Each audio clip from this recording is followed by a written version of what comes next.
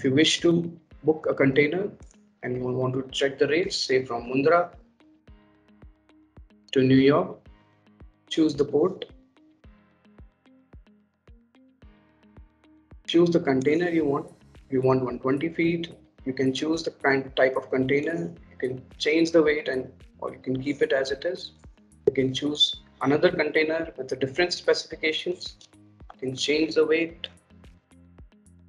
You can, you can check the Incoterms. It is an export. You can add the trucking details in domestic uh, transportation, custom clearance, and CFS. I'll add it later to show how it works. And just click on search rates. As soon as I click on search rates, the portal will start. Or you can choose any of any choice of your uh, shipping line and proceed with the booking.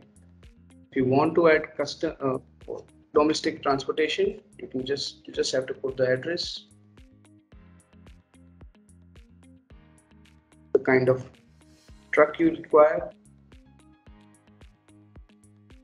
You want the number of trucks you want. Just click on proceed. Just have to save and proceed.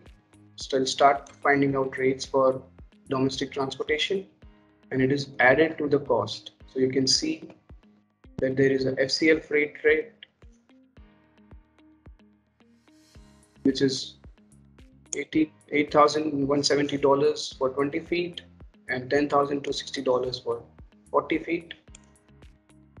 You can see that there's a one-way trip charge is charged for FTL and all the lo local freight cost is already added. Terminal handling charges, VLP, seal, which is as per the standards. You can also add custom clearance here itself.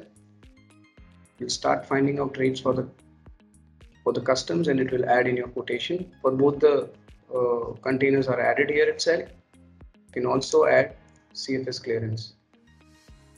You can see the cfs clearance is also added in the quotation. Here if you like the quote you can just book. Uh, as soon as you book check the details again break of breakup of the cost and as soon as if your if your KYC is done you can just click. Your booking will be placed. Someone from our team will call you within 2 to 4 hours confirm your booking and we'll release the booking note within few hours